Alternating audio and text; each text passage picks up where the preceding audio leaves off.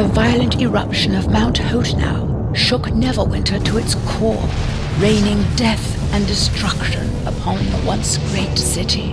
A massive quake split open the very earth, leaving a smoking rift in its wake. From the depths of this chasm, otherworldly monstrosities clawed their way to the surface and ravaged the devastated city. The surviving men and women of Neverwinter fought a desperate battle to push these fiends back. A wall was hastily constructed to keep the city safe, but the creatures continued to gather in great numbers, and word spreads of sightings within the city walls. But strength does not come only in numbers. We must gather our forces and descend into the chasm. We must find a way to seal off the gateway, connecting their world to ours, once.